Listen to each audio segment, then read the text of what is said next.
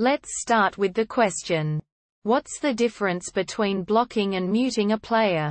In Overwatch, there are three options for dealing with toxic players. Mute, report, and block. Report is pretty self-explanatory, but what's the difference between mute and block? So how can we solve this?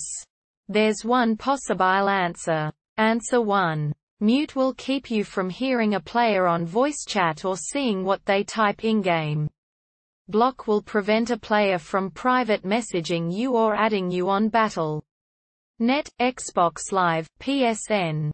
I hope this answer helped, and if it did, please drop a comment and subscribe.